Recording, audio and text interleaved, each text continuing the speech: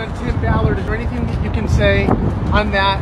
You look, you you, you guys work. Heartbreaking, absolutely heartbreaking for his victims. Oh God, oh, oh, oh, God.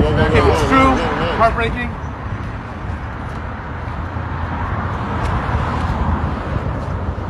Wow. Congratulations on all the success. I've seen the film. It's a wonderful film. Oscar worthy.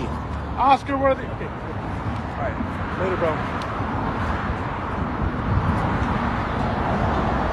All right, guys. She was not rude. I'm gonna go ahead and uh, I gotta upload that too.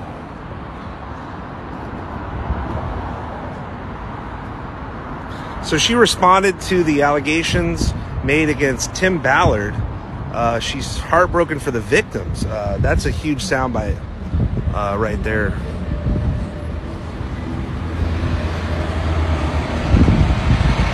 So Mira Sorvino responds to the allegations made against Tim Ballard. The person who the movie Sound of Freedom was based on, uh,